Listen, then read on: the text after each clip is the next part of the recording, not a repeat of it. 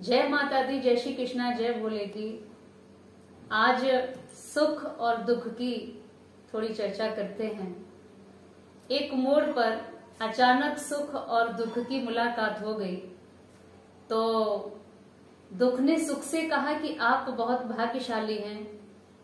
आपको पाने के लिए ये दुनिया हर संभव प्रयास करती रहती है। सुख ने दुख से कहा कि भाग्यशाली मैं नहीं, तुम हो। दुख ने बड़ी हैरानी के साथ पूछा, वो कैसे?